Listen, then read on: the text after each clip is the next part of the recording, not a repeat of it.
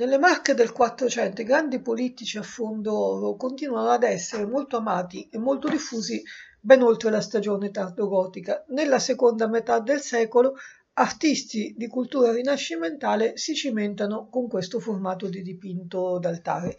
Fra i più originali c'è senz'altro Carlo Crivelli. Crivelli, veneziano, arriva nel 1468 nei territori fra Ascoli Piceno e Fermo.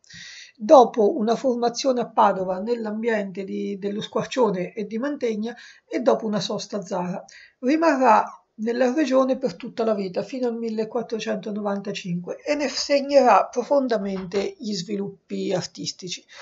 Il trittico per San Domenico a Camerino è firmato e datato 1482.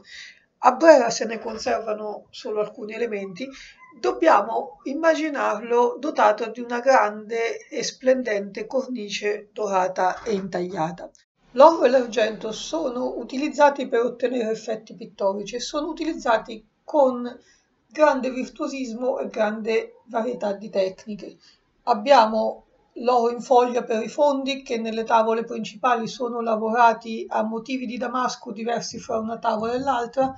Abbiamo l'oro a missione, cioè dato a pennello un po' dappertutto e abbiamo parti in rilievo, ad esempio la scimitarra sul capo di San Pietro Martire oppure le chiavi, il pastorale e gli ornamenti della mitria e del mantello di San Pietro. Le stoffe sono descritte con grande cura tanto da renderne l'effetto tattile e corrispondono a tessuti realmente prodotti all'epoca. Il gusto decorativo di Crivelli è estremo, Notiamo ad esempio eh, i frutti minutamente descritti nei festoni di gusto padovano o abbandonati ai piedi dei personaggi sacri come offerte votive.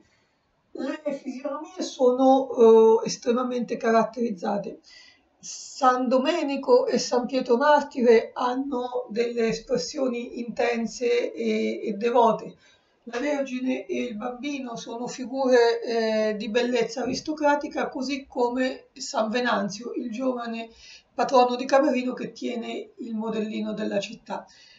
San Pietro ha una fisionomia eh, caricata e un'espressione arguta, sembra quasi un vecchio contadino marchigiano diffidente, così come alcuni dei santi raffigurati nelle tavolette della predella.